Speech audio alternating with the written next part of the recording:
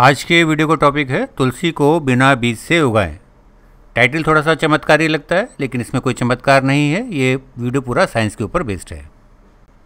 आप लोग कहेंगे, जब बिना अंडे के मुर्गी नहीं हो सकती तो बिना बीज के तुलसी कैसे उगेगी? उगेगी ज़रूर। इसके लिए आपको चाहिए तुलसी की छोटी सी कटिंग जिसका साइज़ करीब आपका चार से छः इंच तक होना है। आपको इसमें ऐसी कटिंग को ढूंढना है, जिसके ऊपर आपके जो फूल ना बने हो मतलब जो नई आपकी शाखाएँ निकल रही हो, उसमें से कटिंग लेनी है, जिसका उसके ऊपर फूल ना बनाओ। अगर ऐसी कटिंग ना मिले तो फूल वाली भी चलेगी, लेकिन उसमें थोड़ा सा आपको मुश्किल होगी। इसलिए कोशिश करें बिना फूल वाली, यंग जो आपकी ग्रोथ है, उसमें से आप कटिंग लेंगे और उसकी आपकी जो लेंथ रखनी है, चार से छः इंच रखनी है। तुलसी की कटिंग आपको आसानी से मिल जाएगी। अगर आपके घर में तुलसी का पौधा ना भी हो तो आस पड़ोस में ज़रूर किसी के पास होगा।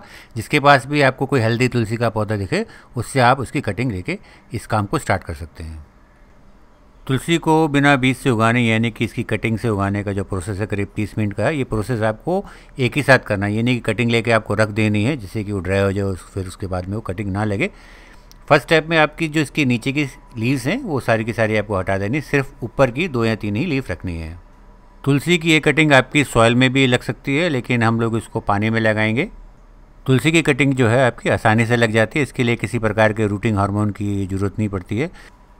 तुलसी की कटिंग को अगर आप टैप वाटर से लगाने जा रहे हैं, जिसमें क्लोरीन की मात्रा ज़्यादा होती है तो उस पानी को करीब आप 24 घंटे किसी खुले बर्तन में रख दीजिए, जिससे उसका जो क्लोरीन है, वो एटमॉस्फेयर में उड़ जाएगा। तुलसी की कटिंग लगाने के पहले दिन में इससे ज़्यादा आपको और कुछ नहीं करना है, आपका प्रोसेस पूरा हो गया, उसको आपको ऐसे ही छोड़ देना जब तक इसमें इसकी रूट्स ना आए। अगर आप चाहें तो इसमें कोई न्यूट्रिशन वगैरह आप डाल सकते हैं, जैसे इसमें हमने all in one seaweed extract liquid है, वो डाला है लेकिन ये स्टेप जो है आपका ऑप्शनल है। थोड़ा बूस्ट तो ज़रूर होगा आपको, जो रूटिंग होगी, होने के बाद में थोड़ा सा बूस्टअप मिलेगा, लेकिन इसको आप नहीं भी डालेंगे तभी इसकी रूट फॉर्म हो जाती है।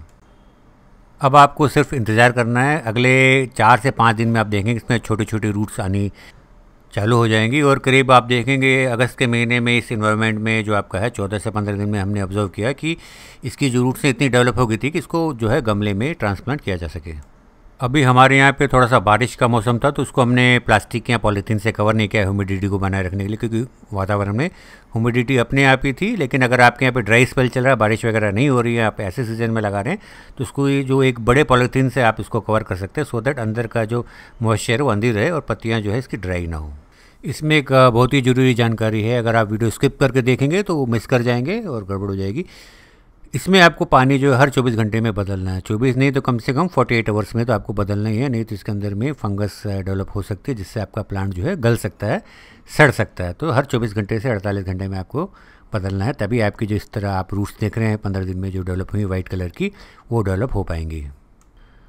आइए देखते हैं, जो हमने ऑल इन वन लिक्विड में जो कटिंग डाली थी, उसकी जो रूट्स किस तरह की, ये जो आप देख रहे हैं ऑल इन वन की रूट्स है ये थोड़ी सी लंबी सी लग रही है मुझे, करीब 1.5 टाइम्स कंपेयर करूँ अगर जो हमने प्लेन वाटर में जो डाली थी, उसकी रूट से करीब जो ऑल इन वन लिक्विड वाली रूट्स हैं, करीब वो 1.5 टाइम्स थोड़ी लंबी लग रही हैं।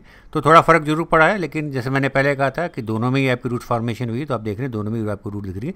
लेकिन हाँ ऑल इन वन लिक्विड जिसमें डाला था, शायद उसमें न्यूट्रिशन मिला तो उसकी जो रूट्स हैं वो अच्छी और लंबी फॉर्म हुई हैं।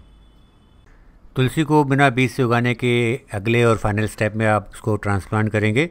आपको ये ध्यान देना है कि जो आपने कटिंग बाहर निकालनी है और जो ट्रांसप्लांट करना है तो उसमें आपको टाइम फिर अगेन जल्दी से करना है क्योंकि इसकी जो रूट्स हैं, अगर आप बाहर ज़्यादा देर तक छोड़ देंगे पानी से निकाल के तो ड्राई हो जाएँगी। तो पहले अपना सेटअप जो भी है, आप गमला जिसमें लगाना वो तैयार कर लीजिए। उसके बाद इसको जो है प्लांट को बाहर निकालिएगा। तुलसी जी का पौधा अपने आप में काफ़ी मज़बूत पौधा होता है और कम साधन में भी अच्छा करता है। तो सिंपली इसकी मिट्टी में आप क्या करिए, आधी कंपोस्ट और आधी पुरानी गार्डन सॉइल मिला के इसकी सॉइल को आप तैयार कर लीजिए। अगेन अगर आप वीडियो स्किप करके नहीं देख रहे हो तो एक इंपॉर्टेंट पॉइंट है जो आप मिस नहीं करेंगे। यहाँ पे भी आपको जो सारा प्रोसेस जल्दी करना है। पहले मिट्टी गमला तैयार कर लीजिए, उसके बाद ही जो आप कटिंग को पानी से बाहर निकालिए। नहीं तो कटिंग की रूट्स जो हैं आपकी ड्राई हो जाएँगी और आपका जो ट्रांसप्लांट है वो फेल हो जाएगा। तुलसी की कटिंग को ट्रांसप्लांट शॉक से बचाने के लिए आपको जो ये पॉट है ट्रांसप्लांट करने के बाद वहीं रखना है, जहाँ पे आपने इसकी कटिंग रखी थी। जैसे हमने इसकी कटिंग जो इंडोर रखी थी, लाइट के अंदर तो कुछ दिन तक इसके गमले को भी मैं अंदर ही रखूँगा सो दैट आपका जब ये पौधा थोड़ा सा नए सिस्टम में जाके सेट हो जाए तो उसको फिर मैं धीरे धीरे बाहर ले जाऊँगा। अगर मैं इस प्लांट को एकदम से बाहर रख दूँगा तो होगा क्या कि जो इसकी रूट्स थी, वो उसकी आदत थी कि उसके चारों तरफ़ पानी से घिरी हुई थी। पानी उसको एट विल मिल रहा था, आसानी से मिल रहा था, लेकिन जब मिट्टी में जाएगा तो उसको पानी थोड़ा सा ढूंढना सा पड़ेगा, पानी धीरे धीरे उसको मिलेगा।